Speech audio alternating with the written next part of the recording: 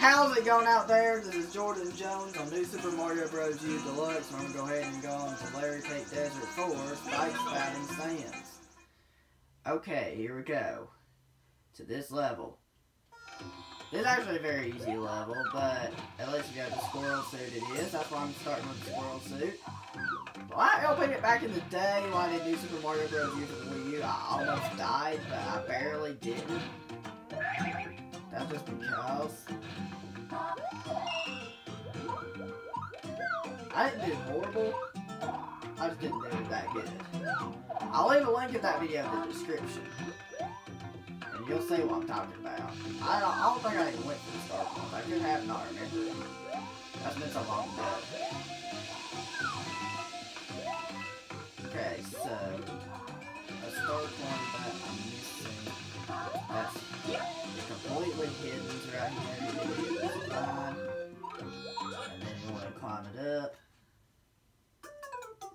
And right here. Very easy, right? See, I almost died when I did it back in the good old days of New Super Mario Bros. U. This is the deluxe version of New Super Mario Bros. U for the Nintendo Switch. So, uh, excuse me.